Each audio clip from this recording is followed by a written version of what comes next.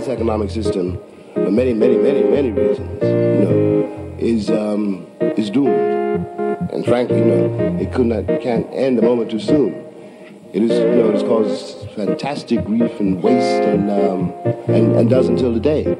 And all of the things like affirmative action or equal opportunity and all of those things um, are menaced and uh, by the, by the stranglehold of this system.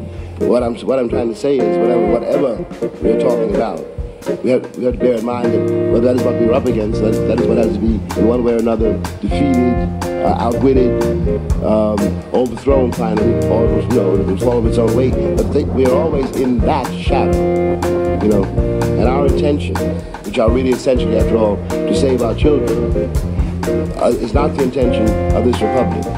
It was never intended, after all, let us tell the truth about it, it was never intended that we should be free here, and it was never intended that we should be able to talk to each other as we are doing now. It was not a part of the will of the American Republic.